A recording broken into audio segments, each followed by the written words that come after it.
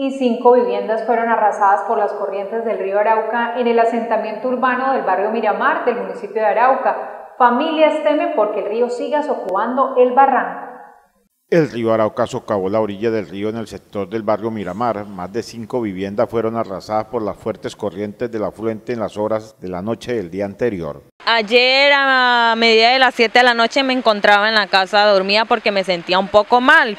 Pues el río como bajó últimamente, pues a nosotros los que vivimos acá en la orilla del río no nos conviene que el río ahorita en tiempo de invierno baje, porque como las tierras quedan un poco muy, como les me explicara yo, quedan Sí, suelta, húmeda, entonces al río bajar pues empieza a desbordar y ayer a la media de 7 de la noche pues el río empezó a desbordar por los lados de allá.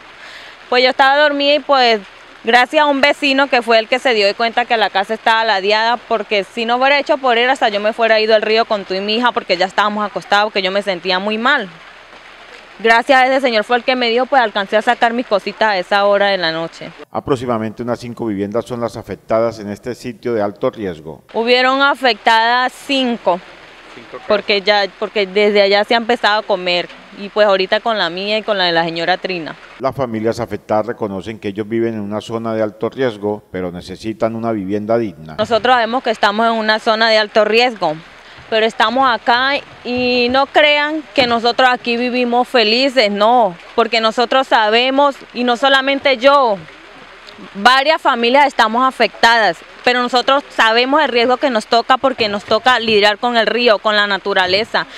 Bueno, yo hice un trabajo de unos costales que fue a pedir, pero de eso no nos sirvió porque nosotros no podemos luchar con la naturaleza. Eso es algo que no podemos, eso todo se lo llevó el río. Las familias damnificadas le hicieron un llamado a los gobiernos municipal y departamental para que les presten las ayudas humanitarias. Pues que nos colaboren, que nos ayuden acá.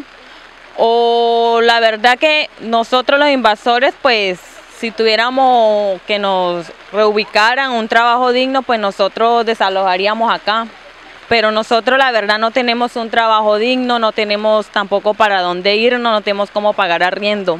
Somos víctimas, bueno, se están dando de cuenta, como vuelvo a decir, nosotros acá no es que vivimos felices porque nosotros acá estamos peligrando, no solamente yo, muchas familias, hasta los niños estamos peligrando varias familias, mire, ya se nos han ido, pues anoche pues casi soy víctima porque prácticamente donde yo estaba durmiendo mi cama quedaba de este lado donde está mi marido sacando eso, ahí estaba mi cama, donde yo estaba acostada con mi hija.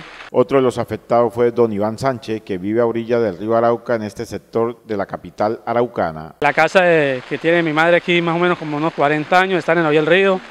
Hemos estado hablando en la alcaldía para el proceso de negociación, porque esta casa no la han negociado, no somos invasores. Eh, más de una vez hemos ido allá y siempre nos salen con cuentos raros, que, que, no hay plata. Otra de las cosas es que sí llegó una vez un suicidio, pero no, no alcanza porque son dos, dos viviendas y no podemos regalar tampoco el esfuerzo de nuestro trabajo.